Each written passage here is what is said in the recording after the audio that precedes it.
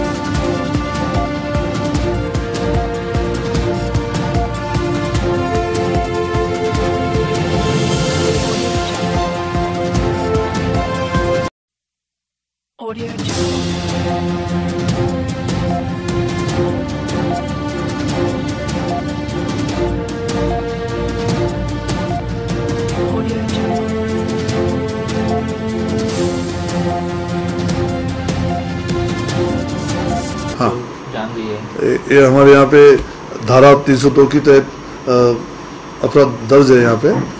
दस तारीख को, दस सितंबर को ये जो यहाँ पे जो डिसीज है संपत सोनू ने, ये टकरवापा जंक्शन पे रास्ता क्रॉस करा था।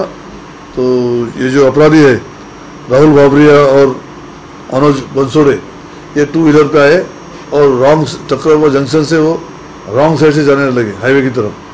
तो उसमें इसमें जो डिज़ीज़ है सोनू संपत सोनू ने इनका और उनका झगड़ा हुआ हाथापाई हुई और उन्होंने मारने के बाद वो रास्ते पे ज़ोर से गिरा उसमें उसका सर को चोट आई और उसमें वो उसकी मृत्यु हो गई।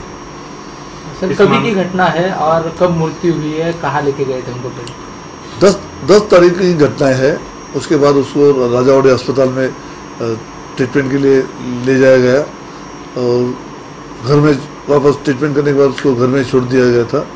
ग्यारह तारीख को घर पे उसकी तबीयत और बिगड़ गई और तबीयत बिगड़ने की वजह से उसको फिर अस्पताल ले गए ले जाया गया।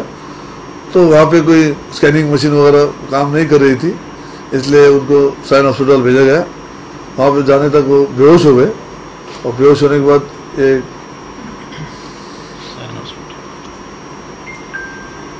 परवा तारीख है महित महित के जरा पता नहीं। क्या हाँ? सोलह। सोलह। सितंबर को हमको यहाँ पे डेथ इंटीमेशन आई यहाँ से सन अस्पताल से। तो हम लोग पूरी टीम यहाँ की इन्वेस्टिगेशन में जुट गई और माननीय एडिशनल सीपी साहब गौतम साहब डीसीपी साहब उमाप साहब और एसीपी साहब चौहान साहब।